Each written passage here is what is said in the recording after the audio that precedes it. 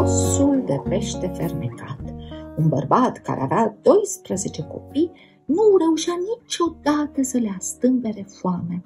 Prin urmare, cea mai mare copilă, ascultătoarea Alice, deveni foarte slabă.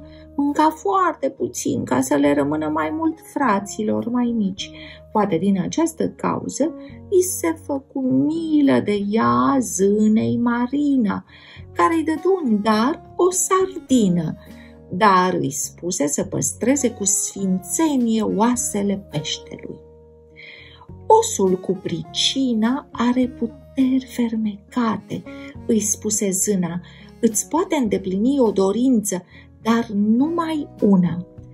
Așa că ai grijă să-l folosești numai când vei avea într-adevăr nevoie. Alice de multe ori ar fi dorit să ceară ajutorul osului, de exemplu când fratele ei mai mare căzuse în necaz sau când s-a pierdut sora ei mai mică sau când s-a îmbolnăvit frățiorul ei mai mic, dar de fiecare dată reuși să găsească o soluție. Într-una din zile, în schimb, Alice văzut că tatăl ei era foarte necăjit pentru că li se terminaseră toți banii.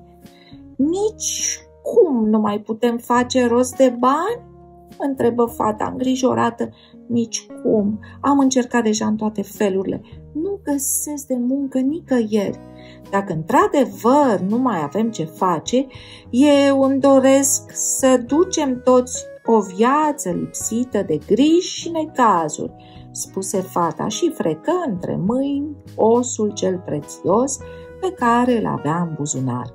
Atunci a apărut zâna Marina și văzură cu toții o schimbare miraculoasă și pentru că fata a avut suflet bun și nu s-a gândit doar la ea, ci la toată familia când și-a pus dorința, zâna îi găsi și un mire frumos protejat de ei.